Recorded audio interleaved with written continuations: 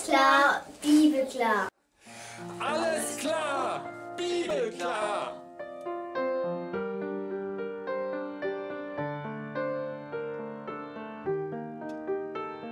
Da gibt es ein ganz nette YouTube-Video, das müsst ihr euch mal anschauen. Einfach erklärt, wie wäre es, wenn du nur in zwei Dimensionen leben würdest. Das wird dann mit so kleinen Figürchen dargestellt als Flachländler, wo alles nur flach ist. Die kennen also nur Breite und Länge, keine Tiefe. Und dann kommt von außerhalb eine Figur, wo die dritte Dimension auch Intus hat, unsere Tiefendimension. Und die Flachländler sind außer sich, weil wie gibt's das? Ist das ein Geist, der da irgendwie reindenken kann in diese, äh, der, der, sieht natürlich von einer ganz anderen Perspektive und der hat einen ganz anderen Weitblick und das ist, hat nichts mit Zauberei zu tun oder mit Dingen, das sind nur völlig unterschiedliche Dimensionen. Und das ist für mich sehr gut vergleichbar. Gottes Dimension ist so unvorstellbar großartig Gott hat solche Dimensionen, gewiss, davon habe ich noch nicht einmal Ahnung, dass es solche Dimensionen je geben könnte. Gleichzeitig ist er aber auch in der, sage mal, Flachländlerebene, wo er nur unsere menschliche Ebene anspricht. Gleichzeitig alles. Und er hantiert diese Dimension auf ganz normale Weise. Nur ich mit meinem Horizont packe das gar nicht. Ich, ich, Kannst mir gar nicht vorstellen, zeitloser Gott, der schon vorher weiß, was passieren wird und dann darauf dementsprechend reagiert und alles in einer Harmonie und durchplant und wunderbar. Aber ich, ich stehe da in meinem kleinen Flachländer-Modus mit meinen kleinen drei Dimensionen und die Zeit geht immer nur auf einer gleichbleibenden Schiene. Ich bin so beschränkt wenn ich dann lese in der Bibel, dann komme ich auf Paradoxe. Ich sehe Paradoxe, die eben weil ich in meinen Dimensionen festhänge, mir einfach nicht erklärbar sind. Wie kann das denn beides gleichzeitig sein? Und es ist aber beides gleichzeitig. Wer kennt den Sinn des Herrn und den Ratschluss des Herrn? Und nichts und niemand kann seiner Weisheit irgendwas bieten oder äh, das Wasser reichen. Das ist Fantastisch. Dann gibt es einen sehr interessanten Vers. Hat nicht ein Töpfer Macht, aus einem Klumpen zu machen, ein Gefäß zu ehren und das andere zu unehren? Nun, der Logik halber, das ist wieder die eine Perspektive. Natürlich, der Töpfer kann mit seinem Ton ja machen und anfangen, was immer er will. Aber dann kriege ich es wieder schwer zu denken, ja, wie ist es auch möglich, dass Gott Gefäße zur Unehre macht, herstellt? Und dies ist schon, da ist schon der Wurm drin bei dem Gedanken, wie wenn Gott ursächlich sie macht, nur weil er sie erlaubt. Das würde bedeuten, wenn ich sage, er macht dieses Gefäß so schlecht, dass es in die Verdammnis kommt, dass er das Böse macht, herstellt. Er stellt es aber nicht her, sondern er lässt es nur zu. Herstellen tut sich das Böse selber. Gott erlaubt es. Gott ist ja nur gut. Er kann nicht versucht werden vom Bösen und selbst versucht er natürlich niemanden zum Bösen. Meinst du, dass ich gefallen habe am Tode des Gottlosen, spricht der Herr, und nicht vielmehr, dass er sich bekehre von seinem Wesen und lebe? Selbstverständlich, daran hat Gott wohlgefallen. Das ist sein Wunschwille. Hier kommt es, das möchte Gott. Und das würde er gerne erreichen. Er kann aber nicht zwingen, damit Gotthasser zu Gottliebhabern werden indem er sie einfach überstülpt, sein Heil. Geht nicht. Gleichzeitig zwei Perspektiven, die aber so für mich aus meiner Sicht gar nicht zusammenstimmen können, weil ich so sehr festhänge in meinen Denkmustern. Ich selber muss alles machen. In Wirklichkeit ist es, er macht in mir, was gut und wunderbar ist. Und da bin ich ein Topf und ein Gefäß zu seiner Ehre. Der Herr macht alles zu bestimmtem Ziel, auch den Gottlosen für den bösen Tag.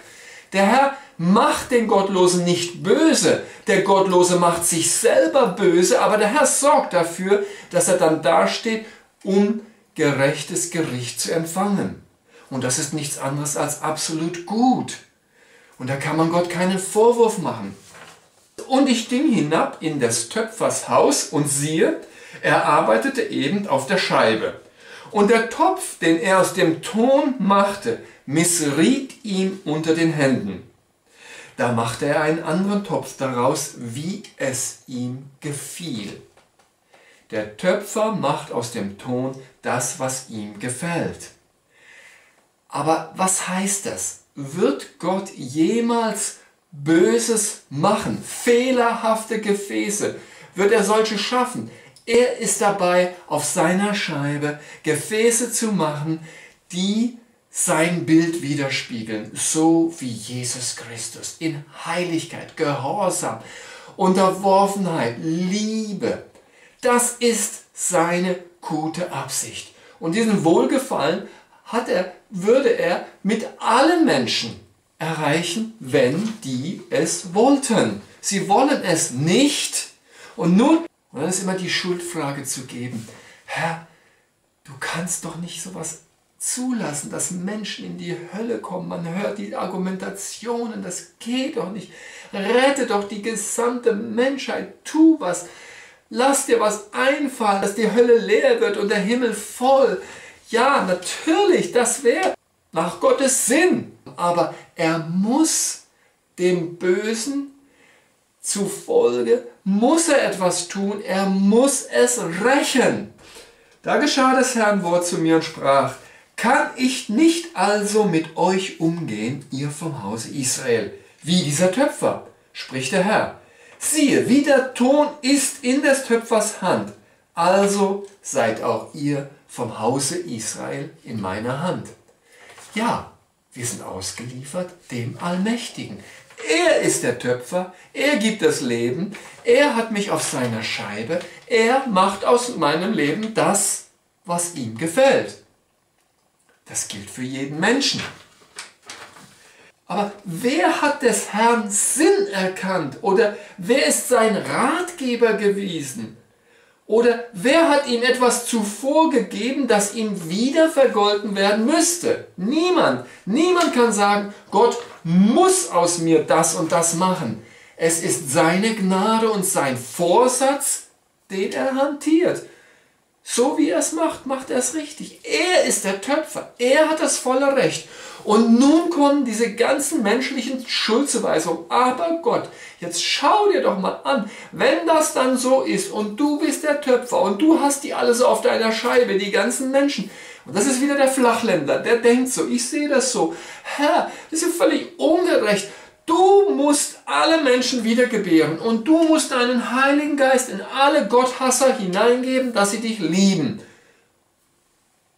Die wollen dich aber gar nicht lieben, aber du musst das so tun. Ja, ich will ich dich lieben, ich habe Gnade bekommen, um es zu wollen. Es ist auch nicht mein eigenes. Das Wollen und das Vollbringen bist du. Mein Gott, du bist es. Du hast es doch getan. Warum tust du es nicht in allen anderen gottlosen Weltmenschen? Herr, es ist deine Verantwortung. Du bist schuld. Und bei diesen Schuldzuweisungen, die natürlich unmöglich sind, weil wer ist Gott und wer bin ich, da geht jetzt interessanterweise, Jeremia geht dann gleich weiter und er schreibt etwas und er sagt etwas von einer Perspektive, wo man denkt, die hat überhaupt nichts mit dem Ton und Töpfer zu tun. Und doch hat diese Perspektive gleichzeitig mit dem Ton und Töpfer genau das gleiche von einer anderen Perspektive betrachtet, es ist das Gleiche. Und hier, jetzt lesen wir, wie ist es denn mit dem Ton, der auf der Scheibe des Töpfers ist?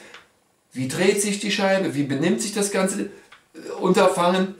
Dann sagt er, plötzlich rede ich wieder ein Volk und Königreich, dass ich es ausrotten und zerbrechen und verderben wolle. Wo sich's aber bekehrt von seiner Bosheit, da wieder ich rede, so soll mich auch reuen das Unglück, das ich ihm gedachte zu tun.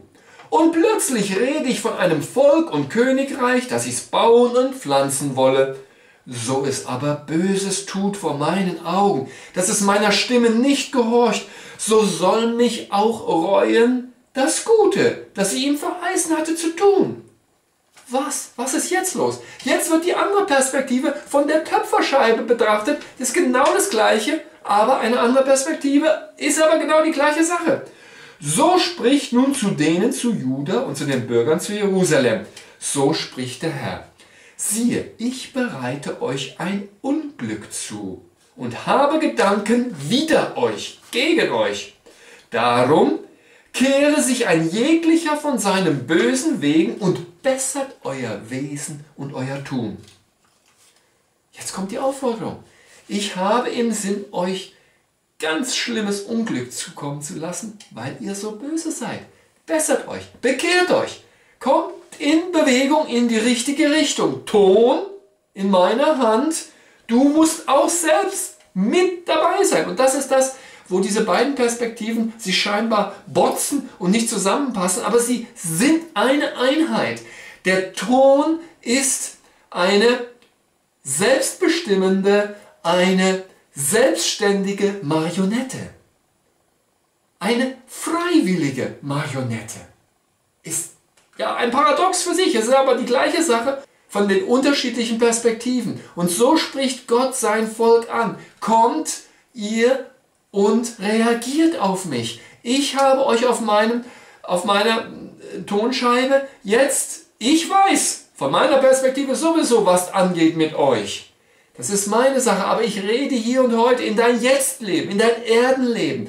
Komm, diene mir von ganzem Herzen und zwar so, wie es sich gehört.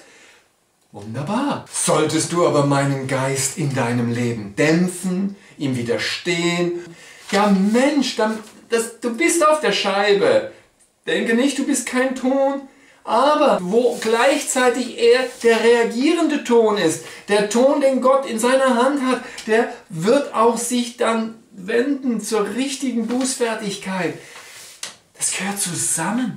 Beides gehört zusammen, was ich eigentlich ausschließlich denke. Ich denke, das kann doch nicht sein. Die beiden Dinge, entweder bin ich nur passiver Ton, mein Leben ist in Gottes allmächtiger Hand, er ist für alles voll verantwortlich und ich habe nichts weiter damit zu tun, weil ich, ich bin der passive Ton. Ich kann nichts, bin nichts, habe nichts. Gut, das stimmt schon. In dir selber hast du kein Vermögen. Es wird dir gegeben von Gott. Aber dieses Glauben, dieses Reagieren auf den Heiligen Geist, das ist etwas, was einen lebendigen Ton ausmacht. Das ist das, worum es Gott geht und wo er dann sagt, aber zu den Israeliten zum Beispiel, aber sie sprachen, daraus wird nichts. Wir wollen nach unserem Gedanken wandeln und ein jeglicher tun nach dem Gutdünken seines bösen Herzens. Das war die direkte Antwort auf das prophetische Wort, wo der Herr zu ihnen gesagt hat, kehre sich ein jeglicher von seinen bösen Wegen und bessert euer Wesen und euer Tun. Ihr sollt euer Wesen verändern. Oh, das kann ich ja gar nicht. Ich bin ja nur der Ton in des Töpfers Hand. Nein, du bist lebendiger Ton. Alle Perspektiven, das gehört in eine große Einheit. Du bist Gottes Kind und das zu glauben, Gott lebt in dir. Du reagierst geistgemäß auf seine Worte und es berührt dein Herz und dann funktioniert das und der Ton wird ein Gefäß auf der Scheibe Gottes und es dreht sich in den richtigen Wegen und, und du wirst geformt. Die Liebe Gottes, die formt dich zu einem fantastisch schönen Gefäß, wo der Inhalt des Gefäßes wieder der Heilige Geist sein wird. Wunderbar, fantastisch. Und das stimmt überein. Beides stimmt überein. Und da geht es nicht darum, dass ich sage, ich kann doch nichts dazu oder wegtun. In einer gewissen Weise, ja, du bist beschenkt aus Gnade, du bist nicht aus Verdienst, dass du sagen kannst, Na, ich habe es mir aber verdient durch meine Leistung oder durch meine treuen Jahre, die ich dem Herrn gedient habe. Nein, all das ist Lüge. Das ist nicht so. Es ist seine Gnade, die du glauben darfst durch seinen Geist in dir. Okay, hier ist das gute Gefäß. Wunderbar. Da funktioniert das. Die Liebe wird beantwortet. Gott gibt dann wieder seine Herrlichkeit in dein Innerstes, so dass es immer ein Wachstum zu Jesus, mehr Reinheit, mehr Heiligkeit, mehr Ganzherzigkeit. Das wird immer intensiver. Herrlich. Wie ist es bei denen, die eben nicht eingehen darauf? Die sagen hier wie die Israeliten, daraus wird nichts. Wir wollen unser Ding, wir wollen dem Ego nachhetzen und unsere Lüste fördern und meine Fleischlichkeiten, die ja mein Gewissen mir zeugt, die nicht gut sind, aber ich will das haben.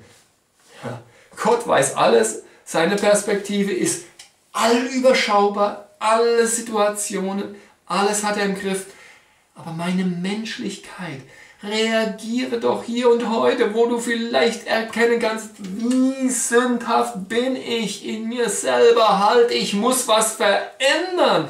Da muss eine Weichenstellung kommen hier und da in meinem Leben. Aber das muss von mir ausgehen. Da muss ich nicht warten, bis mir die äh, Taube, die gebratene, aus dem Himmel herunterfällt. Nein, reagiere.